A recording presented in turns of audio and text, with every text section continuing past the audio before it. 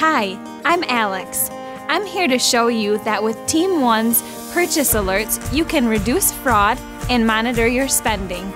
This unique free service is available to all Team One Visa, credit, and debit card holders. Here's how it works. After you've set up purchase alerts on your cards through the Visa website, when a purchase is made on those cards, you will automatically receive an alert via text message or email. Then, if you feel a charge is fraud, you can act quickly to protect your account. There are multiple alert options for you to choose from. It all depends on how you would like to customize this free service. To set up your purchase alerts, go to our Team One website and click on the Personal tab, then on Visa credit cards.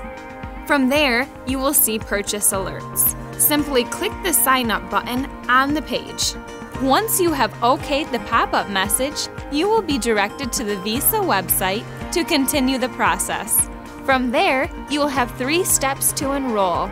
Step 1 You will need to check eligibility. Enter your card information to verify this process.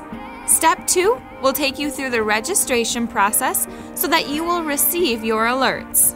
Lastly, Step 3 Customize your alerts. You can choose notification triggers such as transactions exceeding a set amount and even purchases made over the phone and internet. With purchase alerts, you can stay on top of your account balances and help reduce possible fraud. You can always contact one of our friendly member service reps to answer your questions.